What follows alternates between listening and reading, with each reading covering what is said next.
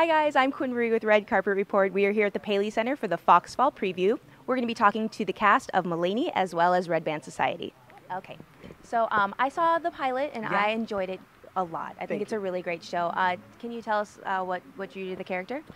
Uh, that I, what? What you to the show, I guess. Oh, uh, yeah. So I play Nurse Kenji Gomez Rejon. So I'm, um, you know, so Nurse Jackson, played by Octavia Spencer, is the head nurse um, on the ward, and I'm her, you know, right hand man, so to speak.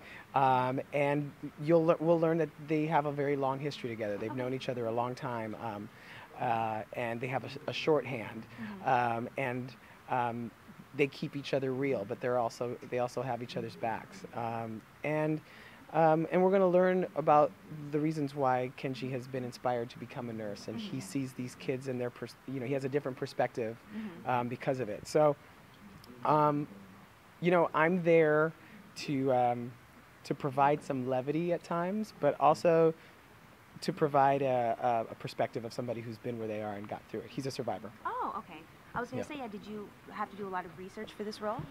Um, well, I, I, I have a couple of friends who are nurses. Um, so I went to their places of work and just wanted a feel for what a day in the life is for somebody who's doing this work. They're long hours. Uh, what I learned was that they're multitaskers. These are people who are not just doing one thing at a time, they're doing four or five things yeah, at a time.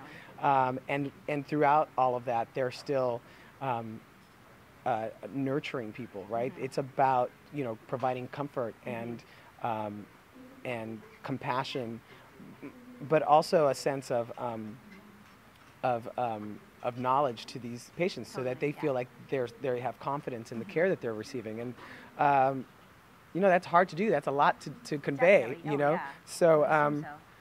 you know, and I also got a sense about how they how they use, how they separate their work life and their and their personal life. Like you, they have you have to be able to step away. Like it's too much if you take it on Yeah. all day. So um, that was that was interesting to, to watch happen as well. Like you could kind of. I remember watching my friend walk out of the hospital and it, it felt like he had taken off Oh gosh, his yeah, costume. You know what I mean? Like, yeah, it was crazy. emotion. Yeah. Yeah. Uh, the the cast is fairly young. Yeah. yeah.